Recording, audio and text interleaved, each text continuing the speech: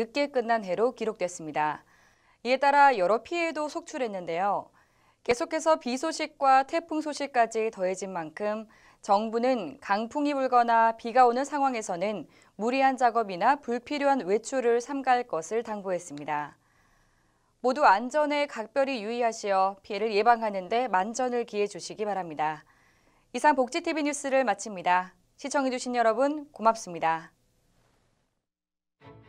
우리 주변에서 일어나는 불공정한 사례부터 억울한 사연, 따뜻한 미담까지 장애인 신문과 웰페어 뉴스 홈페이지를 통해 보다 다양한 소식을 접할 수 있습니다.